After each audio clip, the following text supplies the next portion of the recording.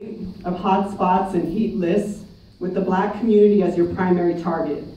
You trace, you track, you kill. Ryan Joseph is his name. Number 21. Your institution is a failure that brings, develops, facilitates nothing but violence and death.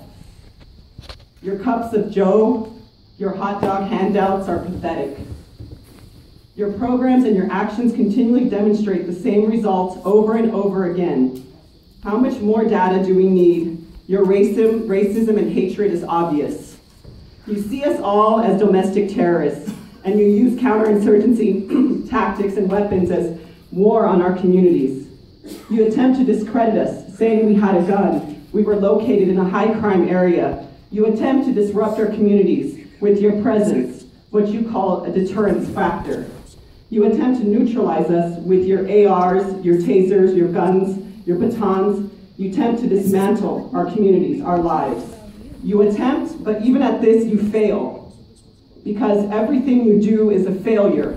They weren't allowed in. And we will not stop because we are not interested in your law and order. We are only interested in justice. Michael Williams.